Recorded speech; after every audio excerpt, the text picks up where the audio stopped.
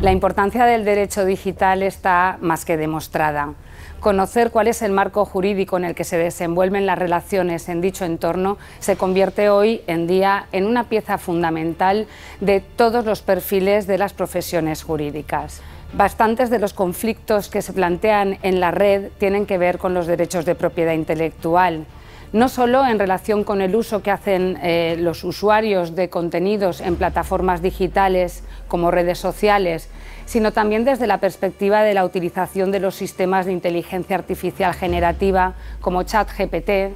o Dalí, y también en el metaverso, con la realidad aumentada y otro tipo de utilizaciones.